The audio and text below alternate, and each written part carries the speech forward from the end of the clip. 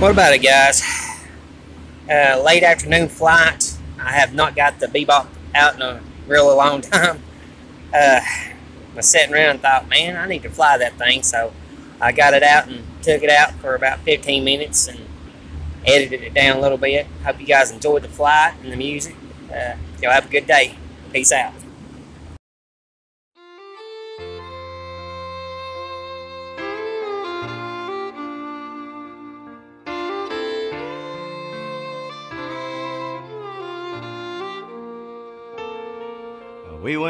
Out for beers and a couple laughs, knowing full well that every bad joke that Jimmy told might be his last.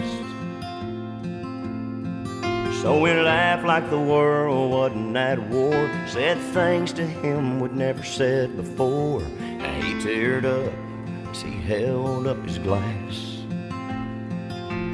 He said, boys, if I don't make it back. Have a beer for me. Don't waste no tears on me. On Friday night, sit on the visitor side and cheer for the home team. Drive my Camaro, 90 miles an hour down a Red Rock Road with Born to Run blasting on the radio. And Find someone for Amy who will love her like I would have. If I don't make it back.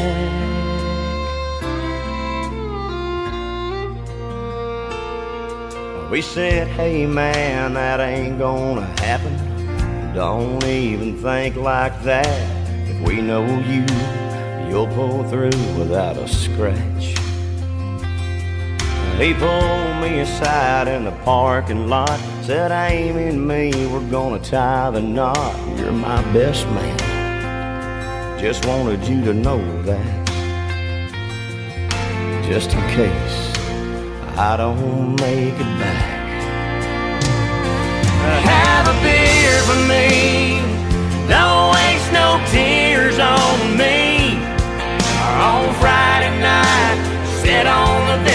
Side and cheer for the home team.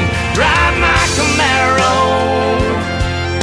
90 miles an hour down a Red Rock Road. We're born to run, blasting on the radio. And find someone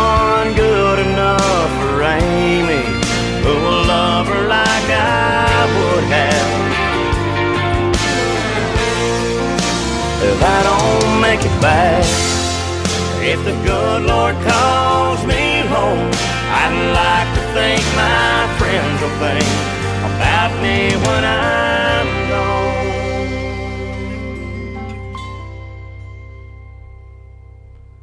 Well, Miller Lite ain't my brand, but I drink one every now and then in his honor.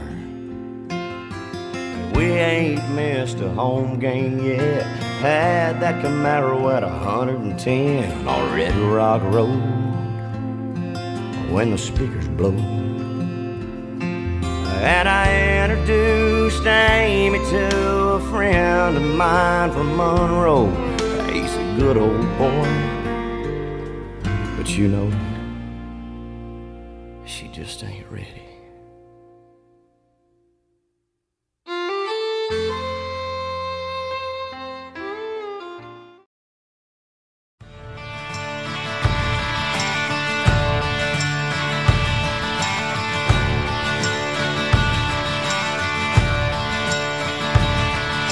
There's something wrong with the world today. I don't know what it is. Something's wrong with our eyes.